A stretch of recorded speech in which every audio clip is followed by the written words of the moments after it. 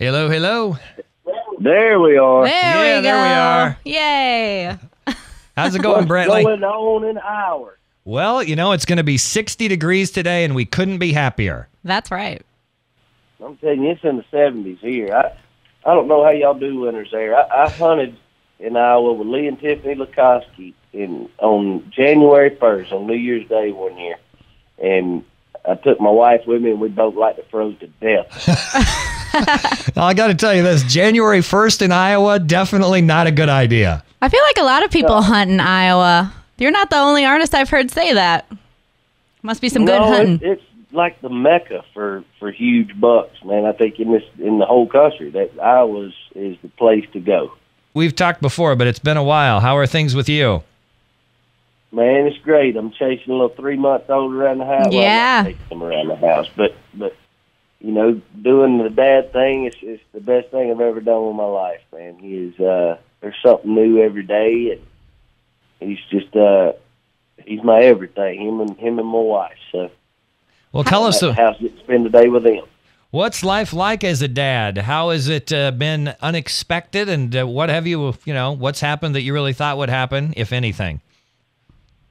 Man, I, I don't know. It's one of those things where everybody, you know, when when they find out you're having a baby, everybody has all this advice, and it's hard to take it all in. And then you have a few people that tell you, "Hey, man, no matter what anybody says, it's a learning experience," and and that's what it has been for us. It's just kind of going day by day, and and uh, she's you know reading all the books and the what to expect and all that. And I've read a little bit, but you know, we're just trying to play it by ear and and you know be the best dad I can.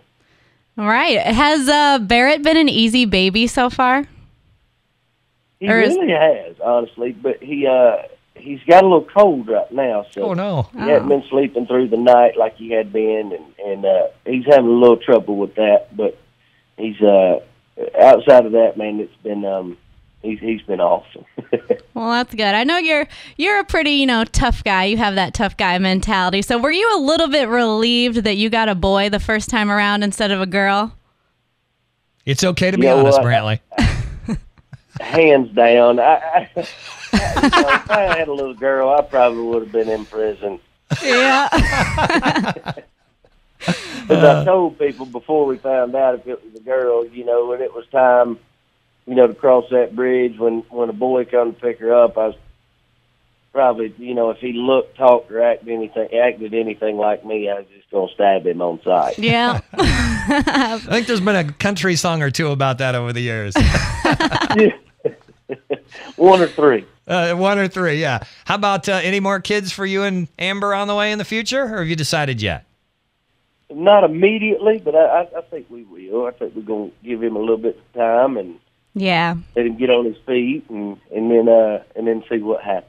Well, and if he's a little older, then he can stick up for a sis if she were gonna to come say, along. yeah, if he has a girl the next time around, at least she's got a big brother and a dad watching over. her. That's right. Give Dad a little bit of help. That's right. Yeah. now, does your family do they usually travel with you, or are you away from home a lot, or? I am, but they, they've actually uh, they've come on a couple runs. Uh, the closer, the, the you know the the runs closer to the house they've been on this year, and and, and it, it's been so cool to have him out there. He actually came out on stage uh, Oh, when we played the show in Augusta, uh, real briefly, you know, just to come out and kind of see everything. He just got real wide eyed and looked around. and, Back to backstage, you know, before anybody got a real good look at him. But oh yeah, maybe uh, maybe uh, he's gonna follow in your footsteps. Oh, let's you know, um, maybe so. If he decided to do something else, I'd be okay with that. Too. Well, let me tell you this, Brantley. You might consider bringing Barrett and Amber along in May because it is much warmer here in May Right. than when you no, come hunting. No, that, that's that's for sure. Yeah, We- I think they could handle a May show up there. That's right. We would welcome them with open arms. Now, obviously, you've been busy being a dad the last few months, though. Is there new music on the way? That new album, uh, you know, been uh, out for quite a while now, so we're obviously thinking about new music down the road, hopefully soon.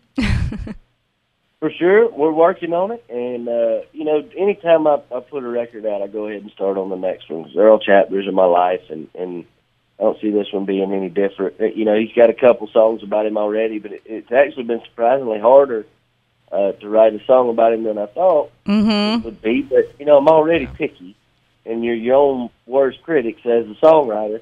You know, being a song about my son, it's got to be absolutely perfect, even more so than you know than other songs that I'm already picky about. So.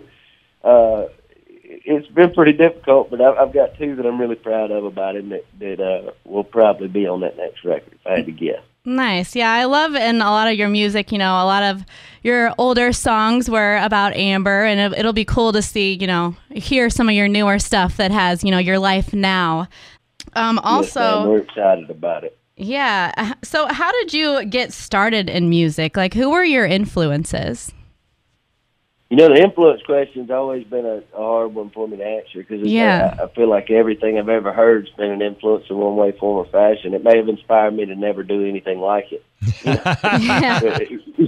so, you know, I can tell you Skynyrd's my favorite band. Yeah.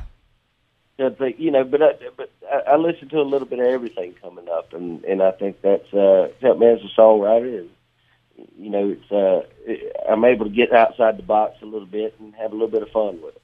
Now, if you wouldn't have gotten into music, do you have any idea what you might have done? I was one of them kids in college, man, like changed my major a bunch of times. Like at first I thought, you know, criminal justice sounded fun and then I looked at me and, and, and all my friends and figured that wasn't the route to go.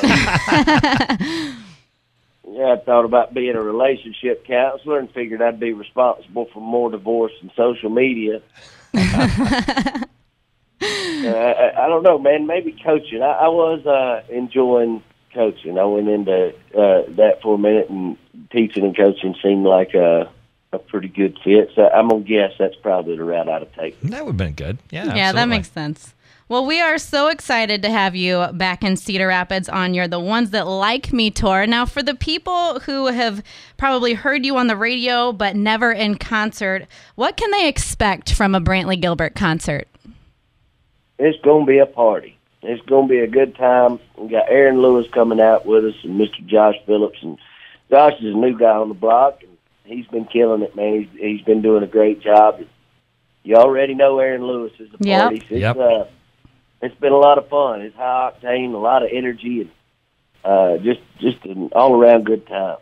Well, May 10th is the big day at the U.S. Cellular Center. We will be there, and we look forward to it, Brantley. Thanks for joining us this morning. And thank y'all so much for having me. We look forward to seeing. you.